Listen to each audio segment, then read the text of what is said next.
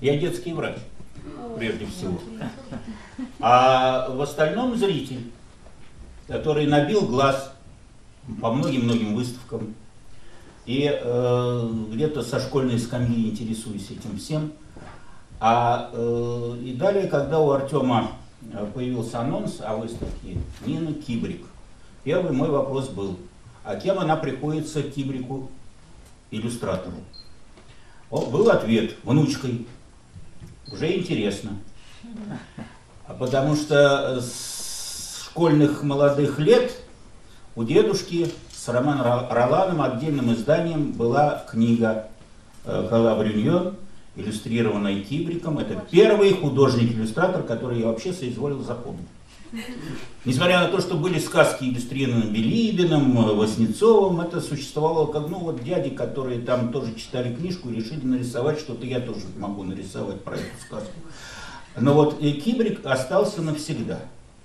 И следующее приобретение было уже гораздо позже. Э, Тарас Бульба уже было приобретено не ради текста Гоголевского, а ради Кибрика. И так это у меня и есть. И, естественно, мне было интересно, поэтому следом за Новым годом, до, э, в Новый год как-то получилось, что библиотека была закрыта, зря проездил, приехал здесь специально, здесь удивил всех. Ну, вот день, кроме первого и седьмого. Вот я как раз и приехал э, тогда, когда вы не работали. Вернее, вы работали в тот день, но с 16, а я посмотрел, что должны к двум приехал и развернулся. Э, что я могу сказать? Как э, люди, которые набили глаз на многом и вся, художники, конечно, просматриваются те или иные. И согласен я с Артемом, что и Пикассо, и импрессионисты, и э, прочее, прочее, э, и ничего в этом плохого нет. Я не согласен с Артемом в том, что он говорит, что э, у художника, у Нины в частности, якобы до сих пор нет своего лица. Оно есть, и совершенно изумительное. Если большинство художников стараются выплеснуться и застолбить себя вот этим выплеском, а я вот так могу, и вот так могу, она раздумчиво э, самоуглубленно. И вот это, в этом есть ее особенность. И вот когда просмотр, пройдешь вот это все, как в ней и вот это сберечь, а дальше она решает, а кому это нужно? И где-то в чем-то не доводит до конца.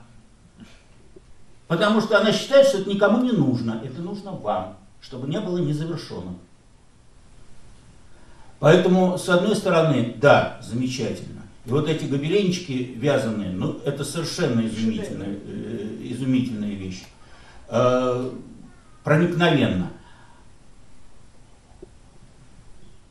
Вы знаете, мне в свое время дочка в четвертом классе принесла картинку, где совершенно неожиданную, где э, как бы из э, круговерти балы вылетела юная дева в гипюрах белых, и вот она как птица рухнула на софу и в безвольном таком полете опустила руки. И столько в этом настроении ты видишь, что было до этого, и ты видишь, вот, вот что здесь происходит. Я удивился, думаю, ну надо же, ребенок четвертый класс похвалил. Через полчаса думаю, ну бывают случайности.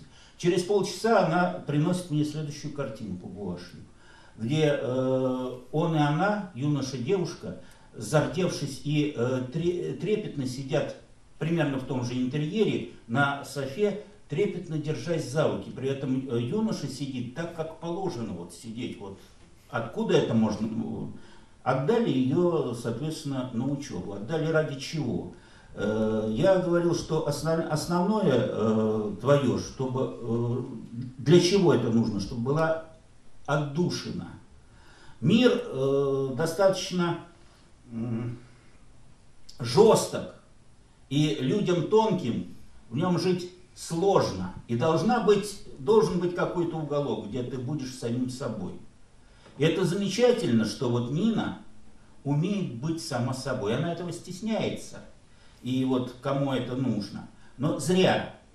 Конечно, я понимаю, что э, то, что в ней звучит вот изнутри лучше всего, вот он тут стоит, Естественно, тут и Сезанн, тут и все, но потому что это ее, опять же, внутреннее, ее симпатия, ее вот заполнение.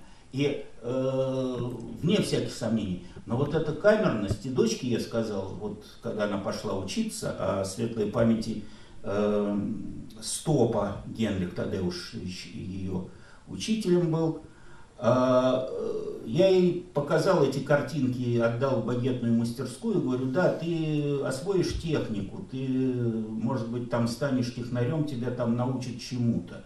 Но ты постарайся не потерять вот это, то, что было в четвертом классе. И вот эта вот сокровенность, мне хочется пожелать, чтобы Нина сохранила и не боялась ее, не боялась выплеснуть. И следующее пожелание – быть смелее завершать смело. У вас есть техника, вы знаете, как это сделать.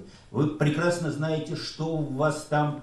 Э, дочка вон какая замечательная. Так что рожайте, рожайте.